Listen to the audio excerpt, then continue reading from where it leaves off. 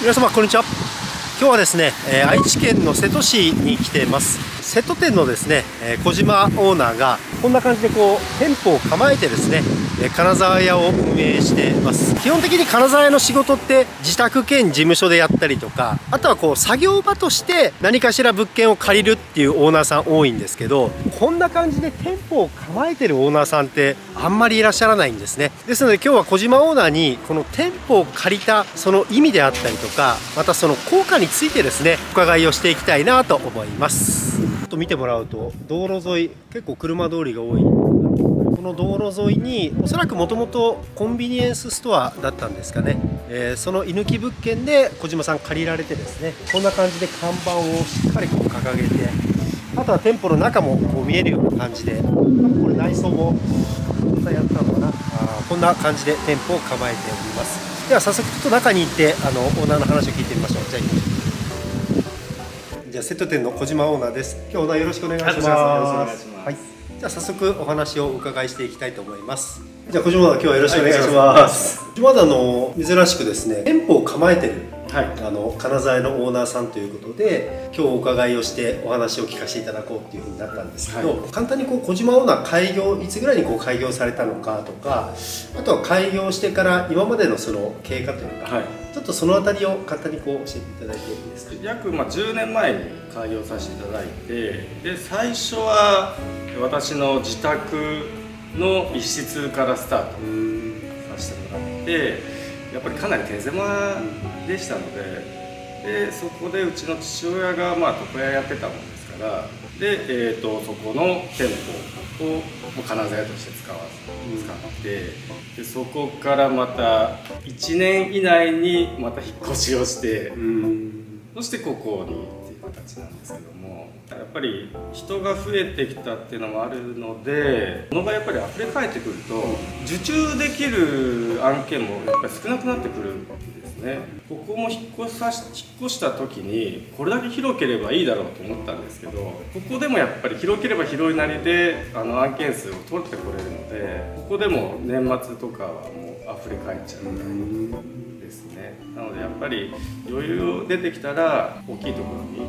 引っ越すっていうのもやっぱり皆さん手がなるほど、ありがとうございます。じゃあもともと開業当初はご自宅の一室でやられてたんですね。でそこからお父様が床屋をやってて、そうです。でその床屋を借り借りて、床屋をうちの親父が辞めて、はい。辞めてそこも金沢の作業場にしていう形ですね、はい、なるほど。でしばらくそこでやって、はい、また引っ越しをして。そうです。この引っ越しした先っていうのはどういうところなんですか？まあ3店舗ぐらい連なってるのれん店みたいなところの一つなんですけども、えーまあ、駐車場が共用の駐車場だったんですね、うん、でそこでやっぱり目の前に止められないっていうことも結構多かったんで、うん、で、まあ、ちょっと煩わしさがあったので10畳ぐらいの作業スペースあんまり路面店路面の店舗ではないので、うん、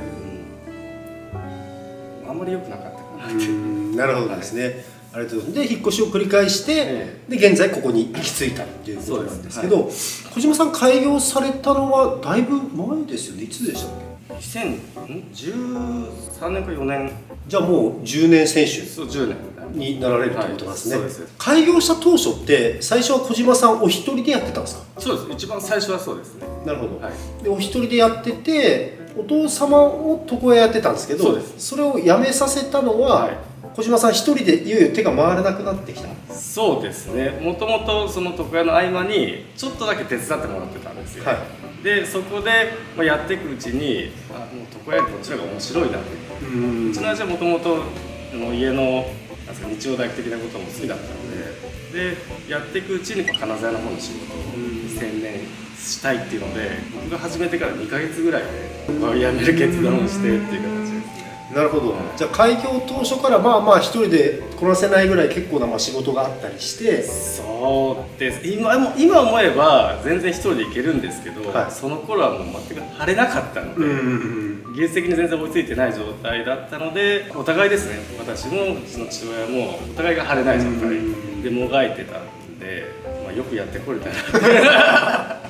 なるほどなるほど。分かりました。じゃあ2か月でもう床屋お父さんちょっとこう閉めて手伝ってもらって、はい、でそこからこう経過としては売り上げがこう伸びていくわけなんですけど、従業員さんをさらに増やしたタイミングっていうのはいつなんですか？えー、とそうですね。さ最初はスタートして3年か4年ぐらい。1人営業マンを入れたんです、うん。その方は結局失敗して、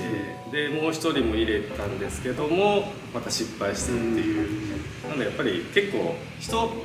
使うっていうのがまだ僕も分かってなかったので、うん。結構失敗はしてきたんですけども、で今、えー、と働いていただいてる従業員は大体今から3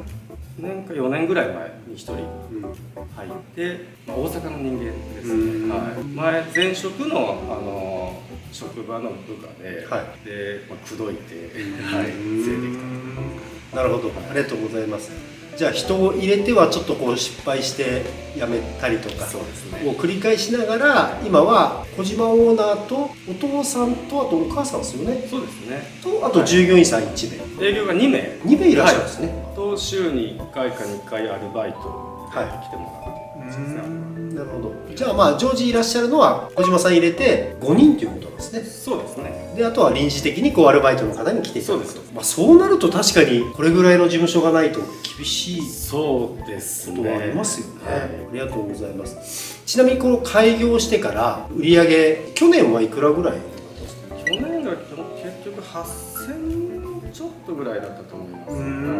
あ年商で去年が8000万ぐらいで着地をして、はいこの売り上げっていうのは開業した当初から右肩上がり。そうですね。一回も落ちたことがなんかないとあ素晴らしいですね、じゃあ右肩上がりに売り上げが上がっていく中で事務所も少しずつランクアップをして